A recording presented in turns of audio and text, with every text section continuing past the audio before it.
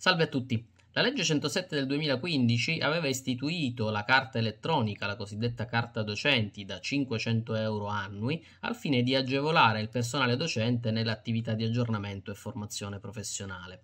Tuttavia questo bonus eh, erogato dall'amministrazione era stato limitato solo al personale di ruolo, quindi escludendo una platea molto ampia di docenti, ossia tutti i docenti precari, che comunque contribuiscono annualmente a garantire la continuità continuità del servizio scolastico nel nostro paese.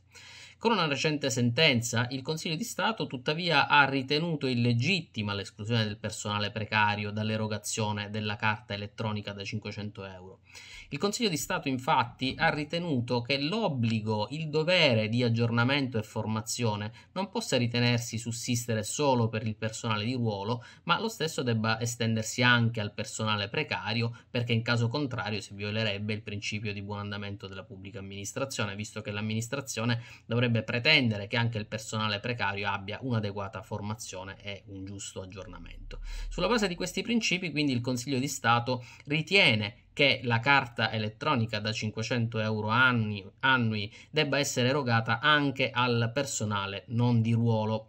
A questo punto si apre una prospettiva per tutti i docenti precari che nel corso degli anni hanno prestato servizio e ai quali non è stata erogata la carta elettronica per poter rivendicare l'attribuzione di questo beneficio sia per il futuro che per il passato. Infatti, nei limiti della prescrizione potranno richiedere il, l'erogazione della carta docente quantomeno per gli ultimi 5 5 anni, quindi per un ammontare di circa 2.500 euro, e tuttavia eh, avviando una specifica azione legale, tenuto conto che il Ministero non certo spontaneamente si eh, adeguerà alla pronuncia del Consiglio di Stato. Vedremo come si evolverà la vicenda.